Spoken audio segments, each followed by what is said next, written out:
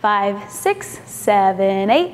One, two, three, four, five, six, seven, eight. Two, two, three, four, five, six, seven, eight, and three, two, three, four, five, six, seven, eight, four, two, three, four, five, six, seven, eight.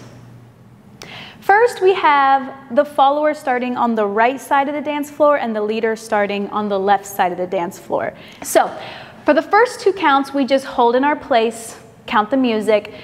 Then on three, four, five, six, seven, eight, the leader is going to start left foot first, follower right foot first, and we're just going to take three slow steps towards one another. So we hold one, two, three, four, five, six, seven, eight. And then by that eight count, you should be right in front of one another for the next part.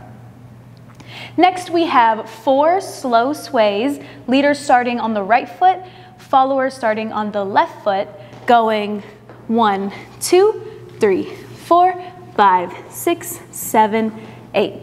Now, if you notice, my leader kind of grabs underneath my wrist and throws them up on the first sway, and then we just gradually come down, kind of just trailing one another's head to shoulders to waist. Now, if you don't like the look of the arms, when you guys meet in the middle, you can just come into this simple prom pose. One, two, three, four, five, six, seven, eight. Either way, you want to be ending up in this two hand hold with the leader's hands on the bottom and the follower's hands on top. Next, we have quicker walks on the beat, both leader and follower starting with the right foot. First, we'll go clockwise. One, two, three, switch. Four, counterclockwise.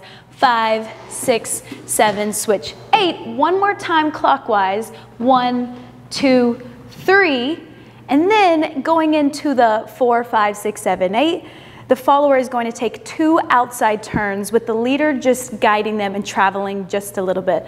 We'll go five, six, seven, eight.